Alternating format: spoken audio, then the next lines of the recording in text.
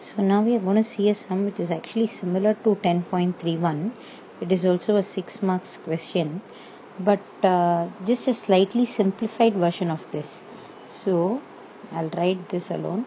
So what is given in the sum is f of x is equal to k into e power minus 2x squared plus 4x minus 2 okay so you have to find k mu and sigma squared right so as always before you start doing the sum first write the formula right the probability distribution function from a normal distribution is going to be 1 by sigma root 2 pi e power minus half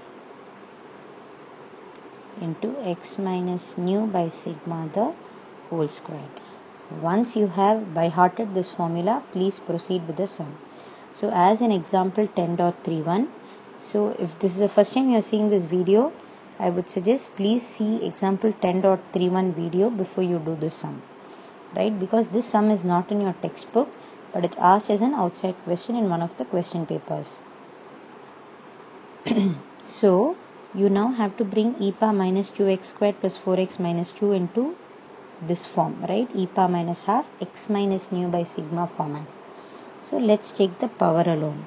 So minus 2x squared plus 4x minus 2 so let's take minus 2 outside.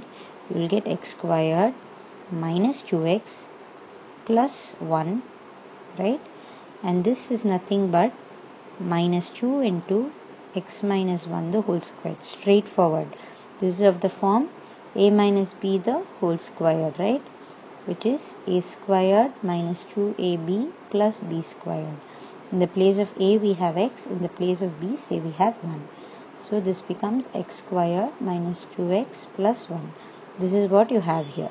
So that's why i'm writing x minus 1 the whole squared so if you put the power it becomes e power minus 2 into x minus 1 the whole squared but let's see how we can write 2 2 can be written as 4 by 2 right?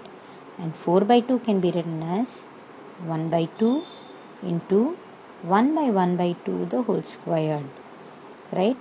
Why we are writing it in this form? That's because we want to bring it to e power minus half x minus mu by sigma the whole squared. So if you see this will now become this minus 2 here can be written as like this right? Like this. So minus 1 by 2 into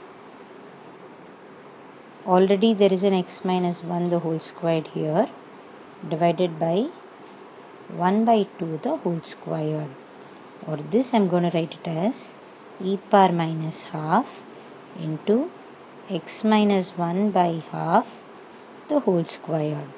Now this when we equate it to the given formula right? Given is nothing but k. Let's write it down. K e power minus 2x squared plus 4x minus 2 is equal to 1 by sigma root 2 pi e power minus half into x minus mu by sigma the whole squared right? Now you know that this can be written like this right?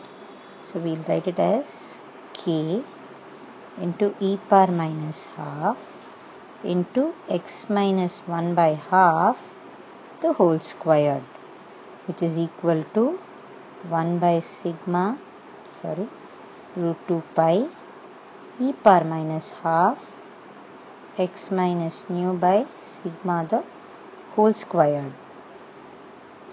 Right? So now you equate. You can easily find out that mu is equal to 1 sigma is equal to half. If sigma is half sigma squared is 1 by 4 and k is can be equated to the remaining part of the equation k is equal to let me write it neatly k is equal to 1 by sigma root 2 pi. And you know that sigma is nothing but 1 by 2 so this will be 2 by root 2 into pi right? Or this can be also written as root 2 into root 2 is 2 right? So it will be root of 2 by pi. So this is the value of k. That's it. So it's a very simple sum compared to 10.31 but otherwise the logic is just the same. 6 marks. It's all yours